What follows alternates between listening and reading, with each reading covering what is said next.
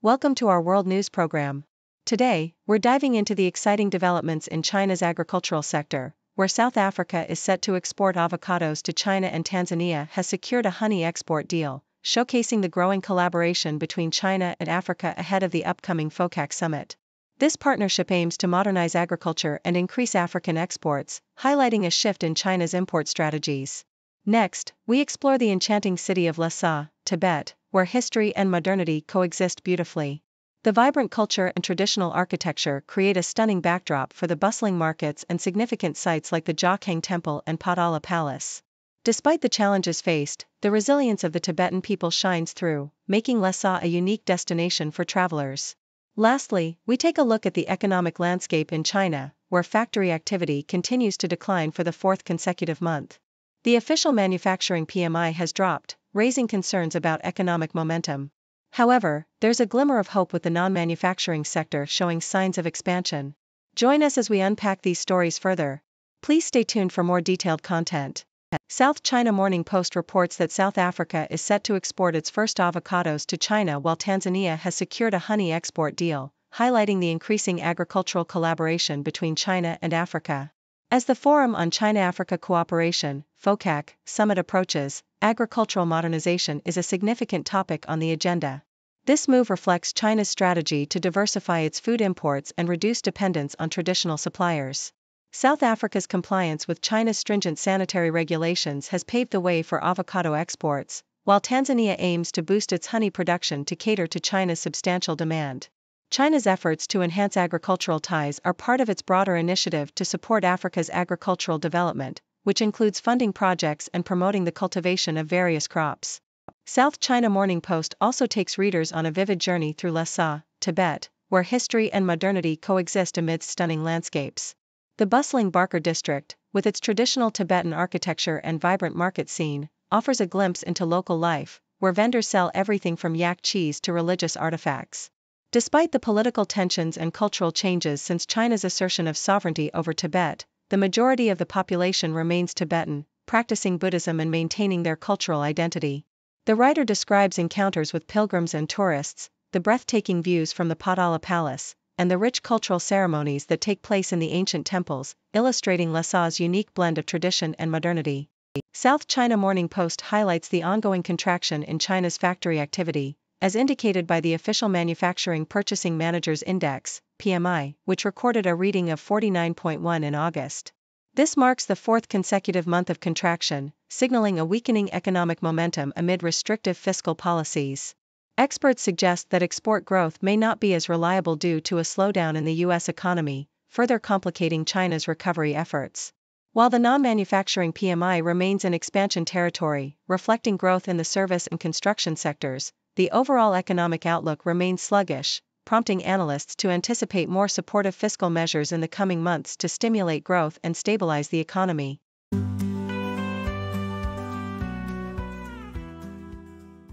South China Morning Post reports on Olympic champion Zheng Qinwen, who has opted for a low profile in her home country after her recent rise to fame. Following her historic win of the Olympic singles gold in Paris, the 21 year old tennis star has found herself navigating the challenges of newfound celebrity status. Zheng now dons a cap when out in public to evade recognition, as the attention she receives has increased significantly since her Australian Open final appearance in January. Despite the pressure, she embraces her role as a public figure, recognizing it as an opportunity for growth both personally and as an athlete. With her powerful gameplay showcased at the US Open, Zheng is determined to fight for every match, aiming for her first Grand Slam title and a place in the WTA finals. Japan Times highlights a significant diplomatic incident involving Pacific leaders who removed references to Taiwan from a joint declaration after Chinese objections. The controversy arose during a five day summit in Tonga, where a previous version of the communique had allowed Taiwan to participate in the Pacific Islands Forum. China's swift condemnation led to a reissue of the document, reflecting the ongoing tensions surrounding Taiwan's international presence and the influence of Chinese diplomacy in the region. This incident underscores the delicate balance Pacific nations must maintain in their relations with both China and Taiwan, revealing the complexities of geopolitical dynamics in the Pacific. In a captivating historical account, South China Morning Post delves into the rise and fall of Zheltuga, a lawless gold rush republic on the Russia China frontier in the 19th century. Established in the 1880s, Zheltuga attracted thousands of fortune seekers, creating a chaotic yet vibrant community. Governed by its own self proclaimed leaders, the settlement became a melting pot of cultures and a hub for criminal activity. However, as quickly as it thrived, Zheltuga's fortunes waned amidst increasing tensions and military pressure from the Qing dynasty. By 1886, a Qing military offensive led to the republic's swift downfall, resulting in a brutal massacre of Chinese miners and the erasure of Zheltuga from the map. Today, the remnants of this once bustling town are lost to history, now replaced by the serene landscapes of the Amur River region.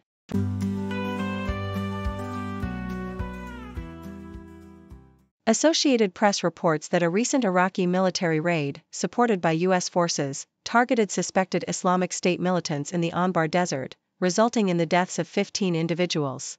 This operation aimed to disrupt ISIS's ability to orchestrate attacks against both Iraqi citizens and international allies. The U.S. Military Central Command noted that the militants were heavily armed, which justified the airstrikes and subsequent airborne operations carried out by Iraqi forces. Despite the raid's casualties being notably higher than previous operations, officials stated there were no indications of civilian casualties, emphasizing the ongoing efforts to combat the remnants of the Islamic State, which continues to pose a threat in the region. Associated Press also highlights a separate incident in the Gulf of Aden, where two missiles, suspected to be launched by Yemen's Houthi rebels, targeted a ship without causing any damage. This attack follows a series of assaults by the Houthis on vessels in the region, including a recent incident where they boarded and detonated explosives on a Greek flagged oil tanker. The ongoing conflict has raised concerns about potential environmental disasters and disruptions to global trade, particularly as the Houthis claim to target ships linked to Israel and its allies. The U.S. military has responded by destroying two drones over Houthi controlled territory, indicating the heightened tensions in the area amidst the broader conflict in Gaza. South China Morning Post shares a personal narrative reflecting on the complexities of identity experienced by a Hong Kong native amidst the region's colonial history and subsequent transition to Chinese sovereignty. The author recounts the confusion and sense of statelessness felt during their upbringing, particularly after the 1997 handover ceremony. Through extensive travel and cultural exploration, the author began to embrace a more global perspective, ultimately redefining their identity beyond national borders. They express a newfound appreciation for China's rich heritage and a desire for harmony and balance, emphasizing that contemporary identity transcends historical narratives and is rooted in compassion and understanding for humanity. This journey of self discovery illustrates the evolving nature of identity in a globalized world.